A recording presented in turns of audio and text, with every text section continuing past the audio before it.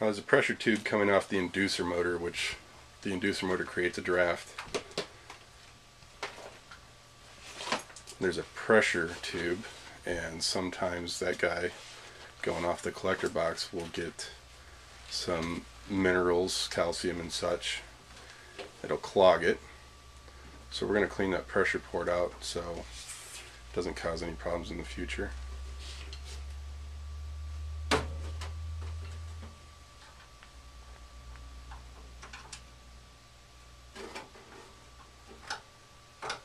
And it was corroded.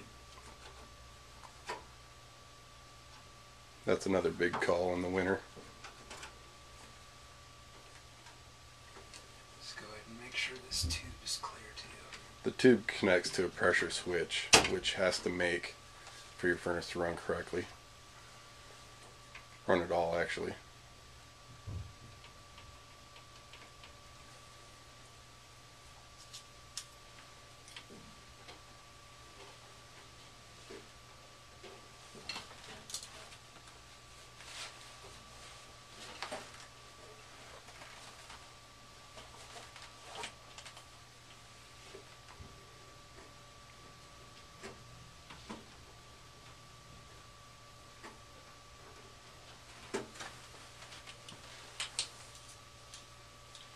Okay, checks out.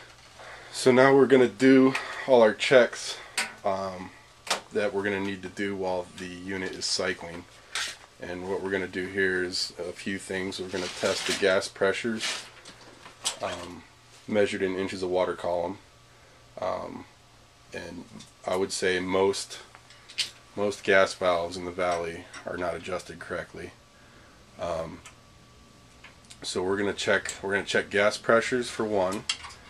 Um, we're going to amp the electrical loads on all the motors. And that's a good indication. An amp load tells us how hard that motor's working.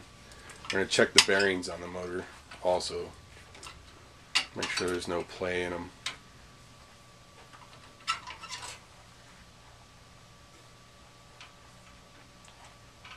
And again, if messing with a gas valve, you, you should be certified.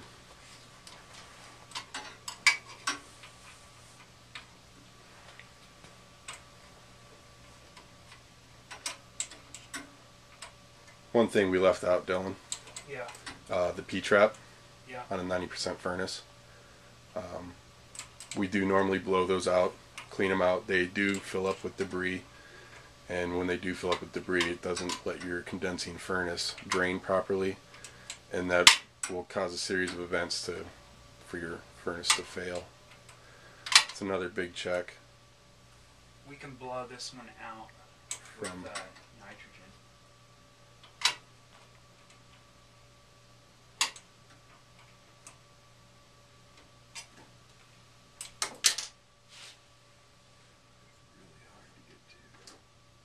As you can see, it's crammed. Most furnaces are. A lot of bells and whistles.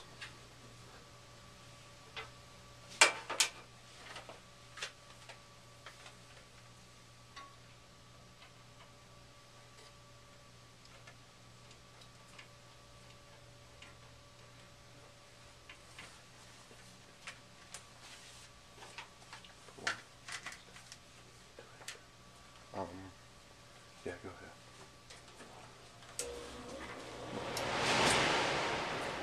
I think it's Colin.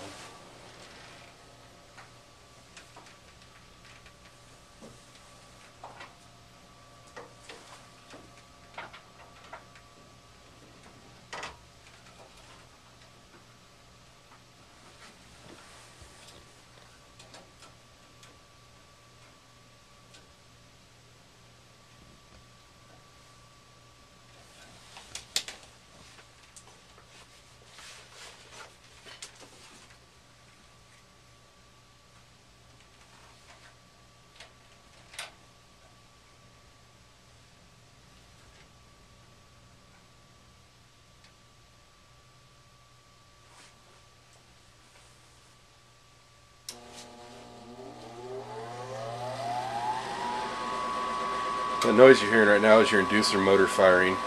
It's the first in the sequence of operations. And that proves to your pressure switch that your inducer motor's running, which ignites your gas valve in your pilot assembly. And you get flames. This one's exactly 3.5, which is the factory setting. 3.5 inches of water column is factory setting, um, and they and you deregulate due to altitude a bit. We don't have to worry about it too much here in Boise.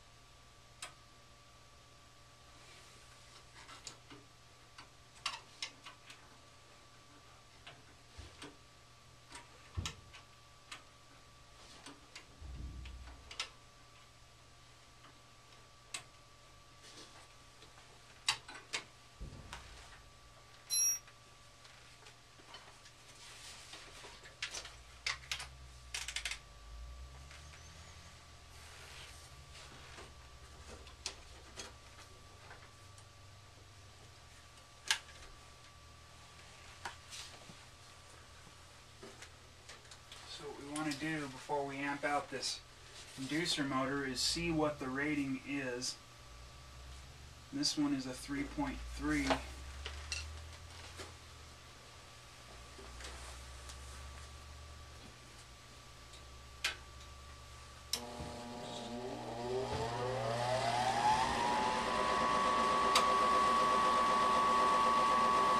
While we're doing these checks, there is live live voltage, 24 volts, and also 120. So there's a lot of precaution taken here. We don't want to get electrocuted. So that one rating is 3.3 and it was at 2.8. So we are within our rating.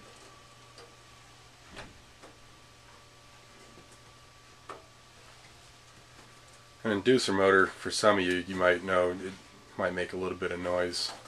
When they get old, they, they start making a bit of noise, so if they are getting noisy on you, you might want to have it checked out.